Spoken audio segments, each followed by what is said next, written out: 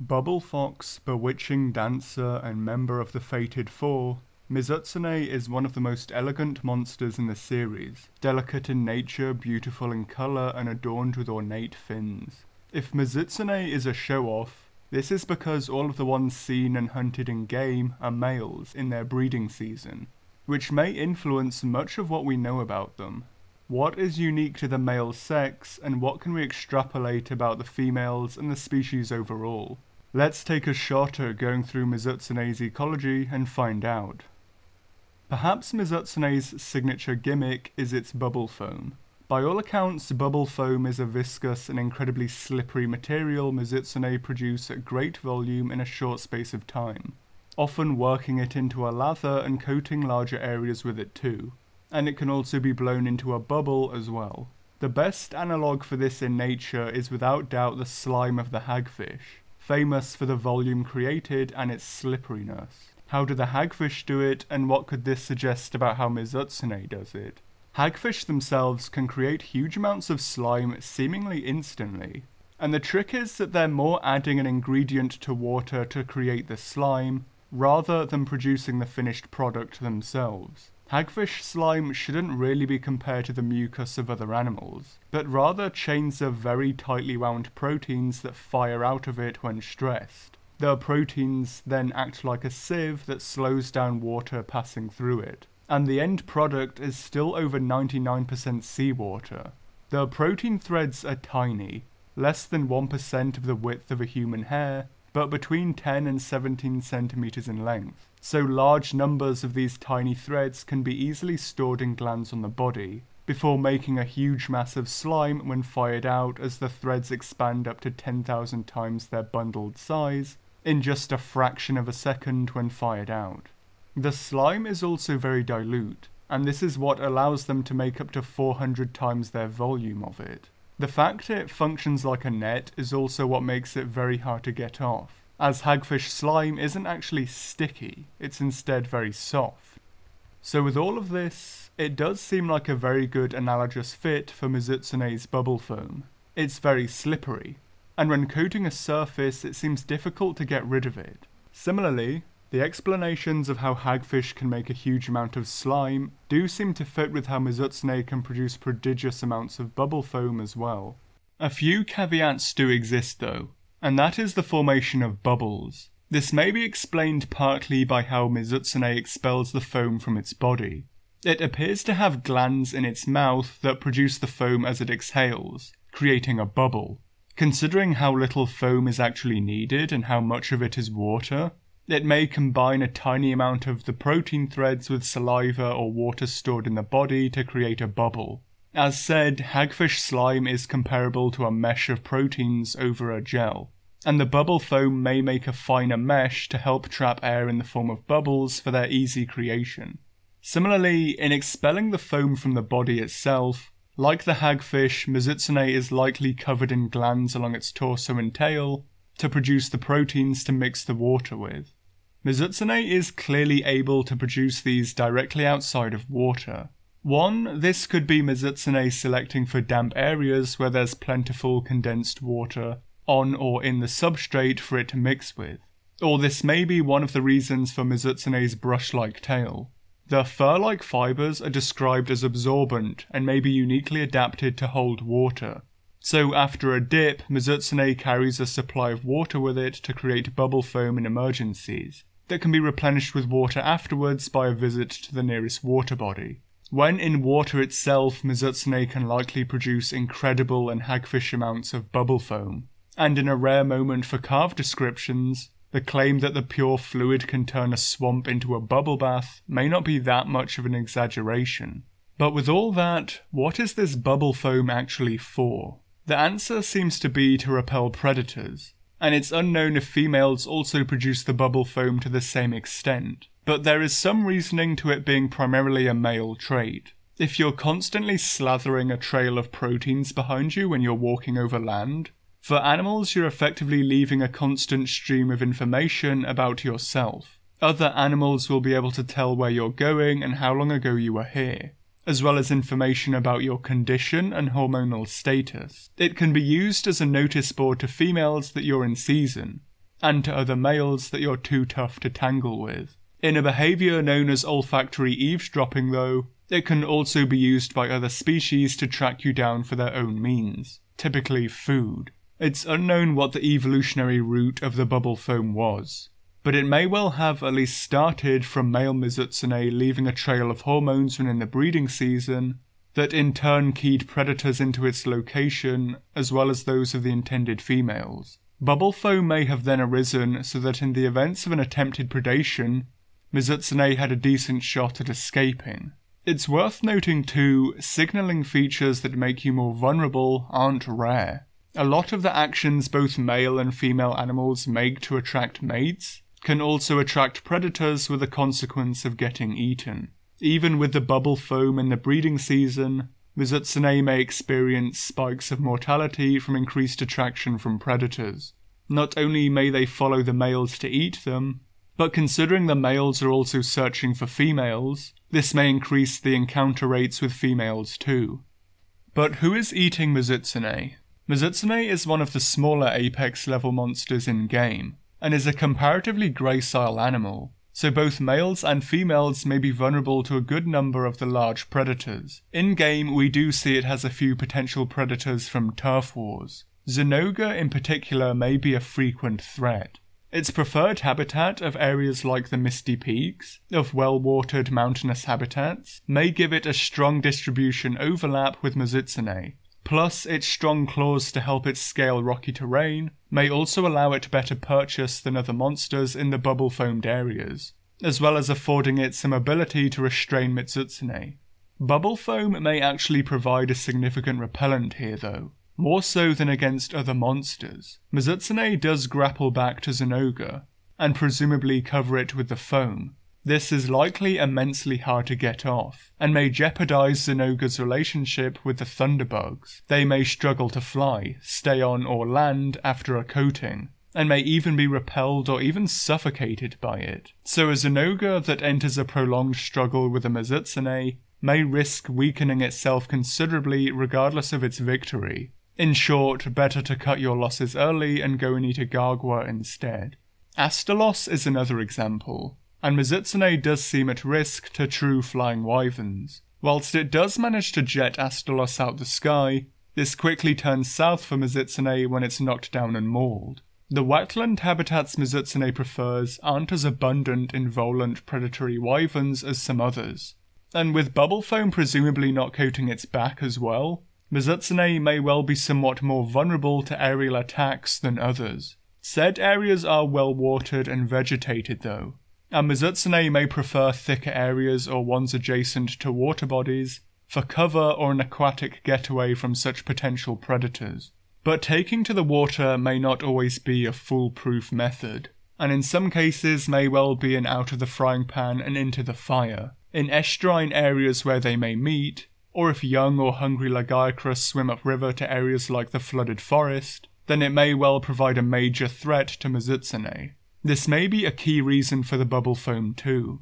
As said, hagfish slime is a good anti-predator mechanism, but it's primarily for gill-using predators, as the thick slime clogs their openings. Against other animals it's not as effective, and hagfish can still fall prey to them, so for more typical predators you'd likely need a different function. This may be why Mizutsune's bubble foam is so slippery. If grabbed by a Lagiacrus around the torso or tail, the glands likely make it very hard for the Lagiacrus to hold on to a wriggling, slippery Mizutsune. Similarly, the potential and forceful actions Lagiacrus may take to kill large prey, like death rolling or shaking it, may only send it flying out of its grasp. This may be overall effective, but not completely foolproof, and if Lagiacrus manages to grab one by the head especially, it may well be lights out. Mizutsune's habitats of mountain and forest streams may well also put it in the same areas as another large leviathan, Almudron. The two may not necessarily compete, as Mizutsune seems to be primarily a piscivore, with some flexibility, whereas Almudron is more likely a generalist, and much more willing to take larger prey. But whilst they may show niche partitioning in their diet, this doesn't exclude Mizutsune as a potential prey item for Almudron. The bubble foam may of course help escape here too, but with three points of contact with its reasonably robust jaw, hooked claws, and especially its grasping tail, Almudron can potentially present a very serious threat too, especially in drier months when aquatic prey likely become much more scarce. Artwork also suggests brute wyverns like Deviljho as potential threats, although perhaps considerably lesser ones than the other three. With their comparatively slow speed, many brutes would likely struggle to catch a Mizutsune before it can escape back to water. And as the artwork shows, said pursuit would likely lead it straight into the bubble foam and misfortune. If they caught one, they may face similar struggles to Lagiacrus to restrain one with a slippery bubble foam but it is also possible the exaggerated tusks of Anjanath or the overlapping teeth of Deviljho, could well be effective. As I did say, if I think Jho's teeth are good for anything, it'd be restraining slippery prey. And they do resemble the teeth of juvenile Port Jackson sharks that are adept at eating soft, slippery seafood, before graduating to mollusks in later life. Who prevails between Mizutsune's bubble foam and Deviljho's jaws is anyone's guess but as said, it's unlikely for a large brute to be able to make a successful capture due to the foam. As well as bubble foam, Mizutsune is also seen to use its water jet against attackers too. As well as just being irritating, this may well be a portable way of firing the bubble foam, and if not, it could still be something of a deterrent. Individual animals already experienced with Mizutsune, and unwilling to get foamed again, may not really want to stick around to see if the water jet is actually just water or foam. And for more timid or intelligent species and willing to go to all the slippery hassle of killing Mizutsune, the water jet may serve as a cheaper alternative to try and scare them off. After all, even if it's very dilute, its bubble foam is still a protein it synthesizes from its body. Scaring someone off by bluffing the foam, rather than having to create a lot of it in a prolonged encounter, would likely be the less expensive option for Mizutsune. For Mizutsune's general ecology, its association with riverine areas and general lore do seem to place it as a piscivore, and the bulk of Mizutsune's diet is likely fish. Rather than swift pursuit predation like a sea lion or dolphin, Mizutsune may take a slower approach, foraging in the more shallow waters using its incredible sensory organs. Indeed, with the morphology of its tail and the lack of webbed feet, Mizutsune does actually seem something of a poor swimmer. Like a good number of real and fictitious animals, it may be entirely water dependent, but not especially competent in deep water, where it may be even more vulnerable to attack from large aquatic predators. Rather, with its hooked claws, its feet are likely adapted to keeping it securely fastened to the riverbed in fast flowing channels, so it can continue to make precise movements of the head whilst foraging.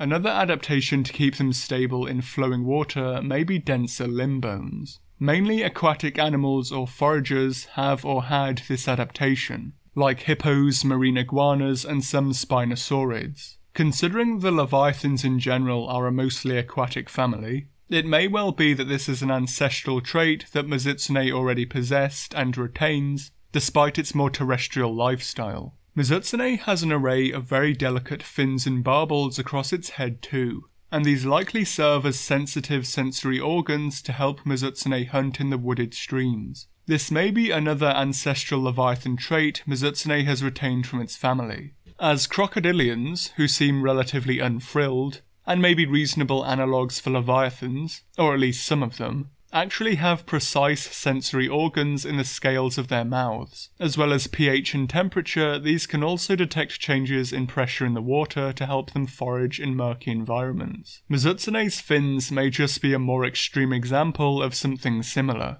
As Mizutsune selected smaller and often hidden prey in shallow water, it developed more precise sensory organs to help it find it. This may be more similar to the vibrissae of animals like seals and otters, who use theirs extensively in foraging and often struggle without them. As well as touch, the barbels of animals like catfish can also taste, so Mizutsune may well experience a multitude of stimuli all through its facial features. This and its chosen habitats may also make Mizutsune more of a generalist too, Fish may be an important part of its diet, and the bulk of it in a lot of regions, but amphibians and invertebrates may also be snapped up as it trawls the riverbeds.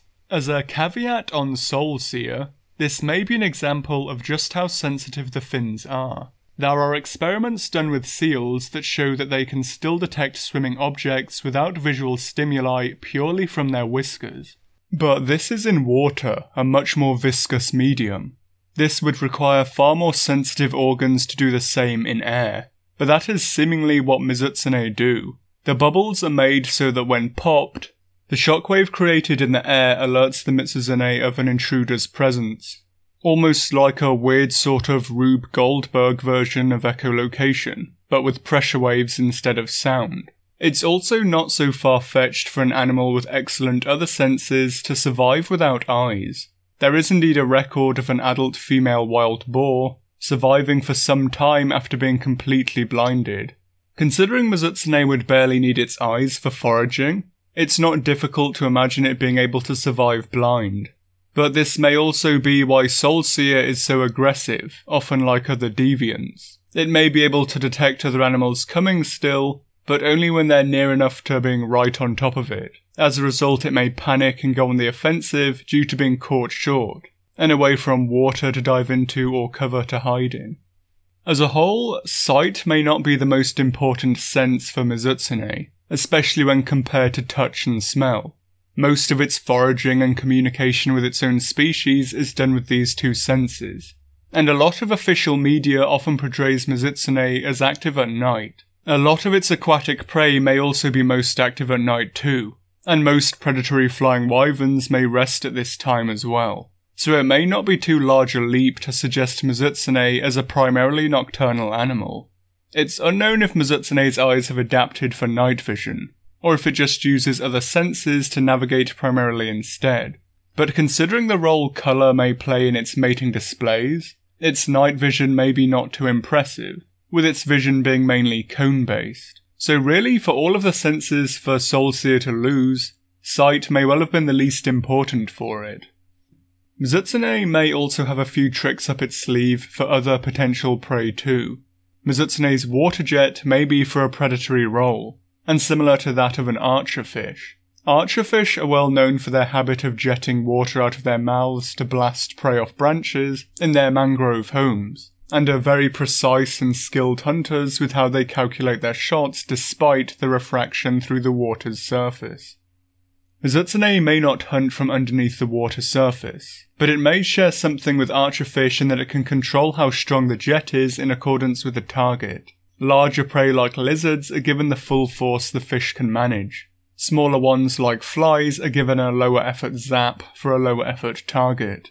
Mizutsune may take such talents to blast assorted life in riparian habitats, like amphibians, birds, winged drakes, or primates, out of the trees or off rock faces, for when aquatic prey is running low or the individual is just hungry. In any winged drake species that nest colonially near water, Mizutsune may win itself a bonanza and jet chicks out of the nests for a seasonal feast, akin to how crocodilians will take good advantage of wader nesting colonies. As said, the jet can also be potentially used to deter predators, and Mizutsune may have a full force option to try and dissuade other monsters from attacking.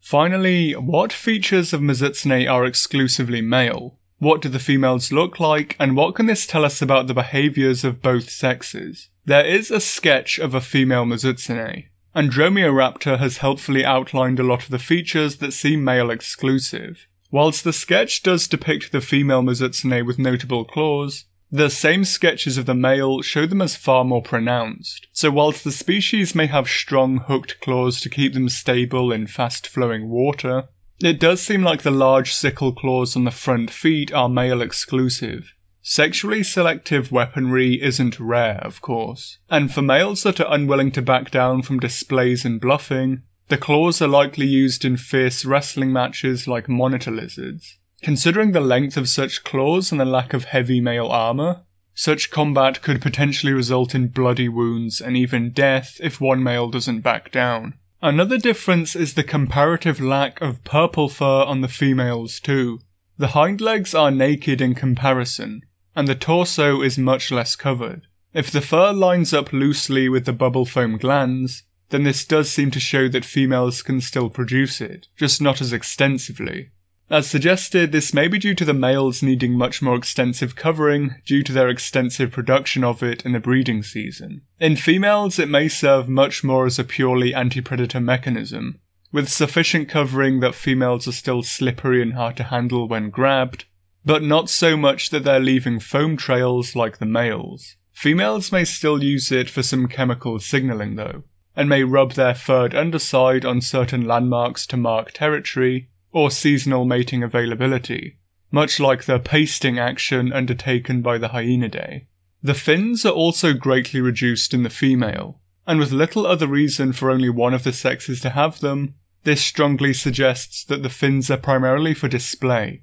Mizutsune can flush blood into them to turn them a deep red, and it's possible their size and colour are indicative of the health and maturity of the individual male so they may have an important role in communicating the size and health of the males to each other. A lot of mating and territoriality behaviour is ritualized, and there are often numerous steps before physical combat, which may itself also be ritualized before it can escalate into something properly hostile or even fatal. Displays like parallel walks may be common, essentially showing off the lateral side of your body to prove how big you are, and why you would win the fight if it happened. Such displays are common across a lot of terrestrial vertebrate taxa, like ungulates, lizards, and big cats. And for a species like Mizutsune which has a clear display structure best displayed from a lateral view, the males may do a lot of showing off to settle a winner. Only when two determined and evenly matched males don't back down are the hooked claws actually drawn.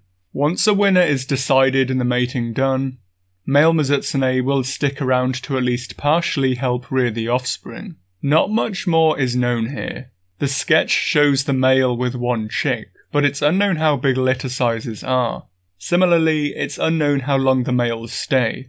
It would presumably take at least a few years for young Mizutsune to reach dispersal size, considering they receive parental care. So whether a male sticks it out the whole way through or if they leave at the start of the next breeding season is unknown. The role of the larger, better armed and more aggressive male is also seemingly to help repel numerous predators in the surrounding area. Overall, Mizutsune has a fresh wave of mysteries with this additional information, but if nothing else, it can be added to the monsters that show parental care to their young. So for my thoughts on Mitsu, I'd say I quite like it. It's nice to get a garish, flashy monster with reasonable lore behind the garish flashiness as well as general ecology that makes it more believable. The fight is alright too, though despite its rank, Mizutsune's never really been that hard, even in Generations Ultimate. It and Gammoth are definitely the easier half of the Fated Four, and I'd probably posit Mizutsune as the least powerful Apex rank monster in general. Mizutsune's theme fits it like a glove and is also one of the most recognizable tracks of the series, as well as just being a very enjoyable fight theme no matter what rendition it's in. Like a lot of others, I won't mind seeing it in a world-esque game. Outside of a turf war with Zinogre and Astalos, Sunrise didn't really give a whole lot of new information about Mizutsune in general. Mizutsune's role as a monster that is only seasonally a hazard could be an interesting thing to delve into if seasons ever return. And this, as well as its considerable beauty and suggested role in some cultures, could also make it another good candidate to explore relationships between humans and monsters in game. I'd probably say it has the most potential of the Fated Four in this regard too. I also find it nicely ironic that Mizutsune's gear is flowery, pink, and traditionally feminine, despite these things being the sign of a red-blooded, testosterone-loaded peak of masculinity for the actual monster itself. A lot like peacocks in our world. Overall, maybe not in my top 20, but not far off it. A decent monster, and maybe a hair behind Gammoth as my favourite monster of the Fated Four as well. Thanks for watching, and as ever a big thanks to all my patrons, especially to Eringar Steiny and Phenomenon. There's a link in the description for anyone else who wants to chip in. I'm appreciative of any amount. Cheers too to Dromaeoraptor for the Mizutsune diagram, and to Comet for putting forth the Archerfish idea. One thing as well, I noticed a few people requested monsters that had recently been covered in videos, and there's been a lot of talk from big content creators about general algorithm crappiness, even with subscribed channels not getting their videos shown. So maybe just check back every now and then on the channel. I do try to aim for roughly every two weeks, roughly. But thanks to all of those who have already subbed, and if you enjoy this video, I'm appreciative of all likes, subscriptions, and share with others who might enjoy this stuff too. To address some points of past videos, yeah, nothing on Rust or. A lot of the third gen subspecies weren't great lore-wise, and Rust is maybe one of the most prevalent in literally flying in the face of the established canon for the base species. Plus, why did they think the desert of all places was the place to put it? The Bloss Wyverns already fill that role. It's perhaps the only biome thus far that already had its own giant herbivores. Overall, ew. Also seems a lot of you liked Duramboros's helicopter sweep a lot more than I did, so power to you for that. There was some great talk regarding the Mer as well. Dawn Tyrant EO suggested that the Mer Queen may just be the dominant female, who is significantly larger than the rest due to said dominance, and who co-ops the others into taking care of her young, akin to mole rats and meerkats among other cooperative breeders, a behaviour which primates will sometimes indulge in. It could also be possible just as some species have different types of male for different breeding strategies, so too do the Mer have different types of female for the same purposes. Maxman 101100 suggested that there may be a lack of male-male competition for females, and this explains the large female size. Mer may live more in a group for threat dilution and protection than an established social unit like base primates too. So that was the Mizutsune video, requested by quite a few, so hopefully it delivered. I'll hopefully see you next time, and many of you should recognise the winner of the Patreon poll.